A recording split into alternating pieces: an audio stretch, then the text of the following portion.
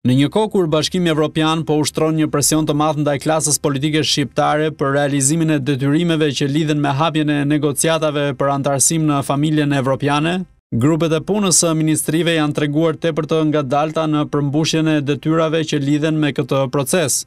Këtë e faktoi edhe vetë ministrja e Integrimit Evropian Klajda Gjosha në takimin me Komitetin Koordinues për Integrimin Evropian 2016-2020. Sipas saj, disa nga ministritë që lidhen direkt me procesin e integrimit kanë neglizhuar pjesëmarrjen në grupet e punës për përmbushjen e 5 prioriteteve të adresuara nga Komisioni Evropian dhe të rekomandimeve në sektorë të veçantë. Gjosha vuri në dukje se monitorimi nga Ministria e Integrimit Evropian do të jetë i vazhdueshëm dhe rigoroz në punën për përafrimin e legjislacionit shqiptar me atë evropian.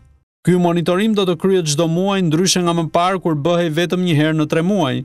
Sipas ministres, respektimi i të gjitha afateve të parashikuara në planin kombëtar është mjaft i rëndësishëm në procesin e integrimit të vendit, ndryshe nga vitet e shkuara ku ka pasur një realizim vetëm nën pesëdhjetë për qind.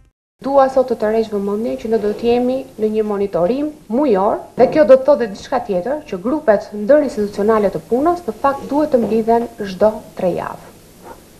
Marr shkas këtu, t'ju tërheq dhe një herë vëmendjen që këto takime duhet të kryhen dhe në momentin që ato kryhen bëhet dhe raportimi direkt pranë Ministrisë së Integrimit Evropian. Ka pasur disa ministri që në fakt e kanë neglizhuar, por ky është një detyrim madhor. Zbatimi i ligjit të dekriminalizimit, miratimi i reformës në drejtësi dhe ngritja e byrosë së hetimit janë disa nga detyrat më urgjente që ka kërkuar Bashkimi Evropian në mënyrë që të bëhet e mundur hapja e negociatave me Unionin si mundësi për anëtarësim në familjen evropiane.